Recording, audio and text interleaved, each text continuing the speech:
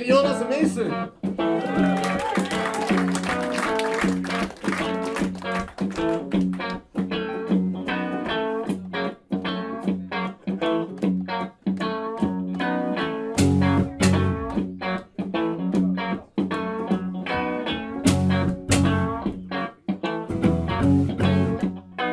Took her life it was so pretty, and in exchange she had to live